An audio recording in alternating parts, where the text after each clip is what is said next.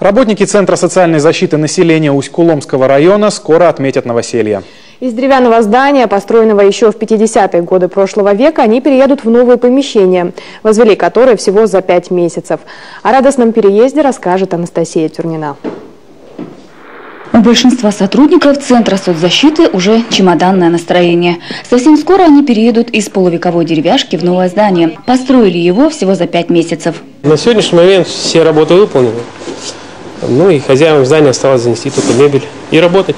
Просторное и уютное фойе, широкие коридоры, светлые кабинеты. Комфортные условия созданы и для персонала, и для клиентов.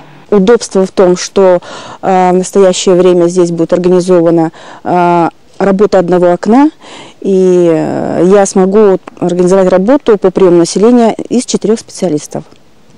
Вот. То есть качество работы, скорость приема, все это возрастет я думаю, что население останется довольным. Довольны жители района и расположением нового здания. Оно стоит в самом центре села.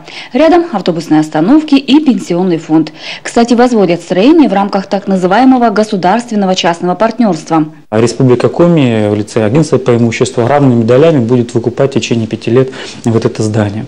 Значит, инициатором выступило агентство социальной защиты Республики Коми. Ну, актуальность вы уже увидели, да, что у нас здание достаточно старенькое и проблемы с предоставлением услуг было.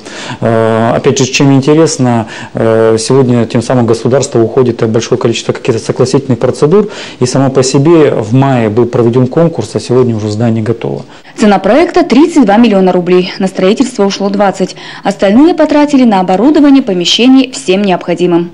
Новый центр откроет свои двери уже в ноябре, пока оформляют документы. После этого здание передадут в руки Центра социальной защиты населения.